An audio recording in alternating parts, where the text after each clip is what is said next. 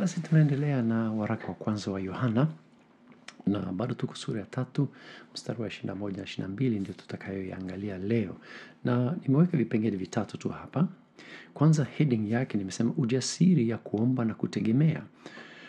Wakati mioyo yetu haituhukumu, kuwa na ujasiri kwa Mungu kupewa tunaloliomba. Hayo ni mambo matatu ambayo nitajaribu kuyaangalia kabla hata ya kusoma andiko, lakini kama huja subscribe kwa channel, ninashukuru kama utafanya hivyo. Inatusaidia kukua na inasaidia kuonekana katika YouTube, na kama unapenda pia eh, mambo ambayo tunayofundisha, onyesha hiyo kwa kubonyeza zile thumbs up na, na pia eh, kutoa comment zako. Uh, tuanze kwa kusoma hiyo sehemu. Nafikiri ni mstari wa ishirini na moja na ishirini na mbili inasema hivi: wapenzi, mioyo yetu isipotuhukumu, tuna ujasiri kwa Mungu, na lolote tuombalo tunalipokea kwake, kwa kuwa tunazishika amri zake na kuyatenda yapendezayo machoni pake.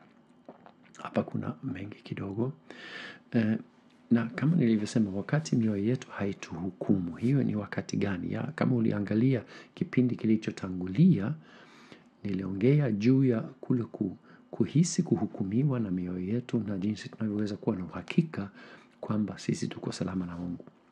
Mwandishi anategemea hapa kwamba wasomaji wake hawahisi kuhukumia hukumiwa na mioyo yao, kwa sababu wanajua uhakika na ahadi ya Mungu. Ni watu ambao ni wafuasi wa Mungu, ni watu ambao wana nia ya kumfuata Mungu katika maisha yao. Kwa wao hawa si kwamba huwe ikatokea umetenda dhambi au umeanguka hapo moja kwa moja unasikia kuhukumiwa, lakini si kwamba uko chini ya seme laana ya hukumu kila wakati na unajisikia vibaya. Kwa hiyo anategemea kwamba wana uhakika wa uokovu na hiyo ni muhimu sana kwa Mkristo kuwa na uhakika wa uokovu kwa sababu ni ahadi ya Mungu, sio kazi yako, ni kazi ya Mungu kwako. Kwa hiyo hiyo anategemea yeye ha, ha, hapendelei. Inaonekana kwamba hapendi watu wa Mungu wawe na mashaka mashaka juu ya hali yao ya wokovu, jinsi walivyo katika uhusiano wao na Mungu. Anapenda wawe imara, wafahamu kwamba tuko salama kwa sababu Mungu ni Mungu. Kama usalama wetu mbele za Mungu ingetegemea sisi au nguvu zetu, hapo hofu moja kwa moja, lakini sio hivyo. Ni Mungu na kazi yake ndani yetu na kazi yake kwetu ambayo inatufanya tuwe salama. Haina maana kwamba inaweza ikatokea kwamba tunaanguka na tunahitaji kushughulikia, tunahisi kuhukumiwa kwa sababu tumetenda kitu ambayo haimpendezi Mungu. Hii inatokea tokea, kwa sababu tulisoma katika moja na nane na moja na kumi kwamba tunahitaji kufahamu kwamba na kuungama dhambi inapotokea. Tukisema hatuna dhambi tunajidanganya, unaona. Kwa hiyo kuna hayo mawili, lakini kule kuanguka katika dhambi inapotokea na tunapoungama na tunapomrudia Mungu, haina maana uokovu wetu unapotea wakati huo. Unaona, ni process, ni maisha. Okay, kwa hiyo kama unaanguka na una, una, una nia ile ya kurekebika na unarekebika wokovu wako haukuondolewi, halafu nakaa bila wokovu, halafu ndo unarudishiwa. Hapana, hiyo ni, ni kitu ambayo ni imara zaidi ya hapo. Uh, kipili, eh, kipengele cha pili ni kuwa na ujasiri kwa Mungu na, na hiyo ni kitu kizuri kwa sababu hata wakati umeanguka, hata kama umetenda dhambi, hata kama umefanya kitu ambayo kwa kweli haimpendezi Mungu, Mungu anasema uwe na ujasiri kwa kumwendea. Unaona, ni vigumu kama umefanya kosa kwa mtu au kwa popote pale, na unahitaji kwenda kumweleza mtu, labda ni kitu ya mtu umeazima au na imeharibika, umeharibu labda wewe dereva umegonga gari ya bosi wako ya una, kuna wasiwasi, lakini Mungu anasema wakati umeharibu katika maisha yako, njoo nieleze, mimi niko tayari kukusaidia. Kwa hiyo Mkristo ana ujasiri wa kumwendea Mungu, na hiyo ni, ni, ni, ni, ni kitu kikubwa sana, ni kitu kikubwa sana. Kwa hiyo una, ujasiri unajenga juu ya Kristo ambaye ni mwakilishi yetu mbele ya Mungu. sio nguvu zetu, sio umaarufu wetu, sio uzuri wetu, sio utakatifu wetu ambaye inatufanya tuweze kumwendea Mungu, bali ni utakatifu, uweza na upendo na neema ya Yesu Kristo.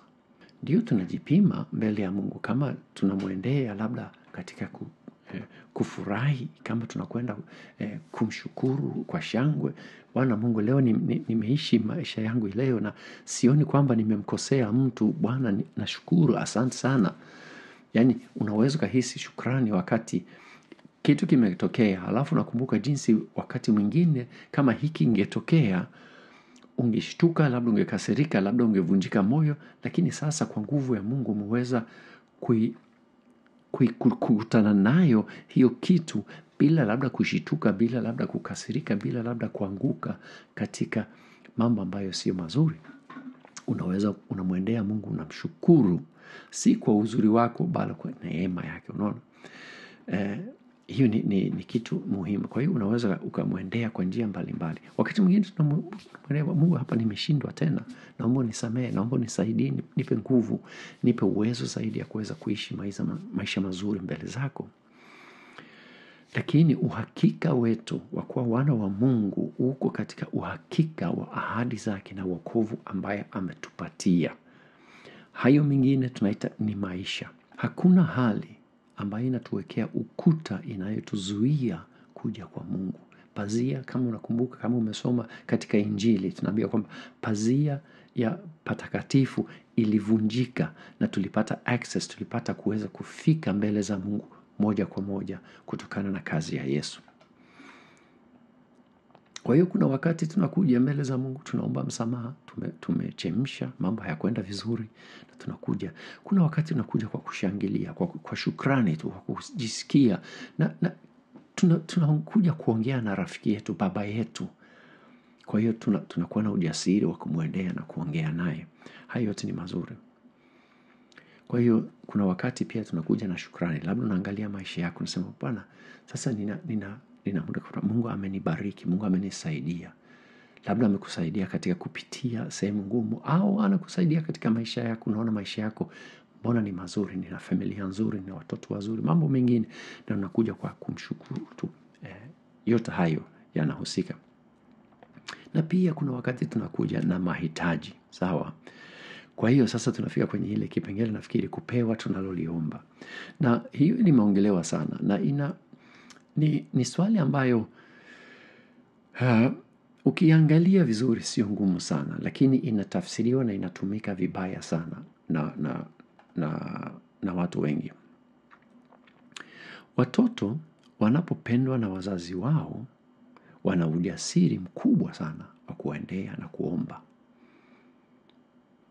Wakati watoto ni wadogo, mimi nakumbuka watoto wangu walikuwa na ujasiri kuniomba vitu ambayo hata kama mimi ningefanya nini nisingeweza kuwapa, nisingekuwa na uwezo, au labda nisingependa tu kuwapa, kwa sababu ni kitu ambayo wao walipenda, mimi niliona si nzuri kwao, unaona. Lakini wao walikuwa na ujasiri wa kuja kwangu kila wakati kuomba mambo mbalimbali, unaona, kwa sababu mimi ni baba yao na wanajua mimi ninawapenda. Kwa hiyo wanakuwa na ujasiri, mimi sio tishio kwao, unaona. Lakini mimi niliamua kama hiki ni kitu ambayo nitampa mtoto wangu au sio kitu ambayo nitampa. Wakati mwingine ninakupa, lakini kuna masharti, unaona, kuna mambo mbalimbali hapo. Kwa hiyo kuna maamuzi, kuna kuomba kwa ujasiri na kuna maamuzi ambayo yanafanyika, na Mungu hashindwi kusema kwamba hana uwezo wa kutupa chochote kile tunachokiomba, lakini kuna mambo ambayo hatupi kwa sababu yasingekuwa msaada katika maisha yetu. Hiyo ina, ina, inaweza ikatumika pia tunapokwenda mwendea Mungu na mahitaji yetu. Ahadi ya kupewa tunachokiomba tunaipata katika sehemu kadhaa katika Yohana kumi na nne na mstari wa kumi na tatu kumi na tano na kumi na saba kumi na sita na ishirini na tatu ni chache ambayo inasema kwamba ombeni nanyi mtapewa, ombeni nani mtapewa. Masharti hayo si kwamba inabidi tujitahidi kwa namna fulani tuma, eh, tuamini kwa namna fulani au ukosefu wa jitihada kwa upande wowote. Yaani masharti ambayo Mungu anaweka kwetu sio kwamba labda labda ungekuwa na imani zaidi ungepewa ile gari au ungepewa ile nyumba au ungepewa yule yule dada au yule yule kijana ambaye unampenda sio hivyo sio hivyo. Lakini mungu anajua tunasema anajua picha kuu ya maisha yetu. Na ndio maana kuomba eh, wakati mwingine yeye kama vile tulivyosema yeye anajua yote. Tulipitia katika kipindi kilichotangulia. Yeye anajua kila jambo. Kwa hiyo anajua tunachokihitaji. Wakati mwingine sisi tunaomba labda hiyo kitu ambayo tunaliomba isingekuwa kwa faida yetu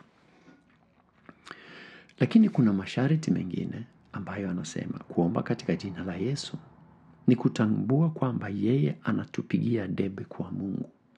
Unaona tunaomba kwa kupitia yesu. Yeye ni mwakilishi wetu eh, kwa mungu ambaye yeye pia ni mungu lakini yeye tumeambiwa tu, tuombe kupitia kwake. Nyingine ni kuomba kufuatana na mapenzi ya mungu. Na hapo ni kwamba mawazo yetu yanaambatana na mawazo ya mungu kwa upande wa yale ambayo tunayoombea omba. Na hiyo mara nyingi ni kitu ambayo hatuifikirii sana. Uh, tunapenda kusema kwamba omba chochote na utapewa halafu tunaomba na hatupewi. Na ni kwa sababu mawazo yetu hayaambatani na mawazo ya mungu kwa jinsi inavyostahili kufanya. Kutii amri zake na kutenda yapendezavyo machoni pake. Hiyo ni matokeo ya uhusiano wetu na mungu.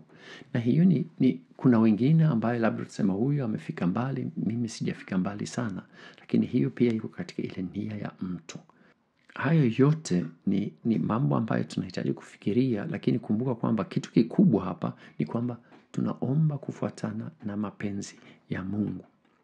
Lakini ujasiri tunakuwa nayo hata kama hatuombi kufuatana na mapenzi yake au mawazo yake hata kama hatuko hatuambatani na, ma, ma, na mawazo yake labda sisi tumekosea lakini ujasiri tunao. Kama vile watoto wetu wanapokuja kuomba kitu ambayo sisi tunajua hiyo isingewasaidia lakini wana ujasiri wa kufanya na hiyo tunaweza kuwa nayo. Hata hivyo hata tunapoomba vitu ambayo mungu angesema kama ungepata hiyo bwana ingekupa shida kwa hiyo hata hata kupatia au atakupa baadaye. Kuna mambo mengi sana hapo. Lakini tuna haki na tuna ruhusa kuja kwakwe kwa ujasiri na kuomba. Yale yote yanayoendana na mapenzi yake tunapewa. Yale ambayo hayaendani na mapenzi yake hatupati. Ni hivyo. Hiyo ndio fundisho ya biblia maana hata yesu anasema kwamba katika ombi la yesu anapo eh, eh, anapotuambia tuombe anasema mapenzi yako yatimizwe kama yalivyo mbinguni na hapa duniani. Kwa hiyo tunaomba mapenzi yake yatimie na hiyo inahusu hata maisha yetu. Kuna wakati tunaomba na hatupati na tunashangaa kwa sababu mbona hii ilionekana kama ni nzuri? Ilionekana kama ni kitu ambaye mungu ange, ange, angependezwa nayo ingefaa kwa namna fulani. Lakini hatukupata na tunashangaa kwa sababu hiyo. Kuna wakati tunaomba kitu kwa mungu. Tunasema yeye hapo ni kama vile tunabahatisha na tunapewa. Tunashangaa sana kwa sababu tunaona hapa ni kama vile nimezidi. Nimemwomba nime kitu ambayo hey, inakuwa kuaje unaona? Mimi nimeomba mambo mengi ya kiajabu ajabu kuna siku moja bam, eh, katika plumbing ya nyumba yangu ilikuwa bomba moja ilikuwa imeziba. Na ili, yani kazi ya kuitengeneza ilikuwa kubwa. Mi nikamwambia mungu sasa mungu mimi nakuomba najua ni ombe la kivivu lakini sina yani sitaki kufanya hiyo kazi. Nikaweka mkono wangu juu ya lile bomba na ninasikia inasema inazibuka. Na ninaweza kuitumia kama kawaida. Nikashangaa nikasema eh, mungu anaweza kusikia ombi kama hili? Mbona ni kama vile nimemwambia hata mungu kwamba mimi niko mvivu sitaki kufanya hiyo kazi. Na ananijibu inakuwa kuacha hapo. Mungu anaweza akajibu maombi ya kiajabu wakati mwingine. Wakati mwingine tunaomba kitu labda tunaumwa sehemu fulani tunamwomba bwana mungu lakini ni kama vile jibu hali, halipo. Kuna wakati tunaomba na jibu linakuja moja kwa moja. Mimi juzi nilikuwa nimeumia hapa kwenye, kwenye joint hapa ya mkono. Nilikuwa nimefanya kazi na nimeanguka na nilipojipokea ni kama vile nilishitua. Kwanza sikusikia kitu lakini baada ya muda ikaanza kuuma. Nikapiga hospitali ni, na tukasema kwamba nitaenda hospitali kesho yake. Nimemeza vidonge hakuna matuli, matulivu hata kidogo. Ninauma kama nini.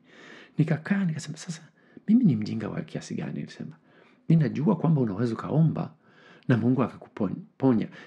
Kwa nini nisiombe? Nikaweka mkono wangu hapa, nikasema Mungu naomba maumivu haya yaondoke. Ninapoomba wakati ninaongea yanaondoka. Kwa hiyo kuna mambo ya maombi ni wakati tunapoomba kufuatana na mapenzi ya Mungu inafanyika na anajibu.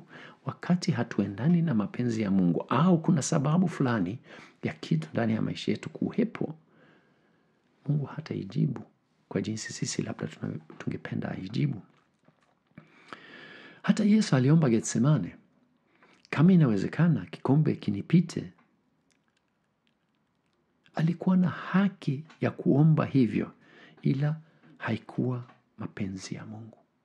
Unaona, hata Yesu mwenyewe pale anapo, anajua kwamba anaenda kusulubiwa, anajua mateso inayomsubiri, inayo anamwomba Mungu kama ikiwezekana, ana ujasiri, ana haki ya kufanya hivyo, lakini kwa vile haikuendana na mapenzi ya Mungu, haikumpita, ilibidi anywe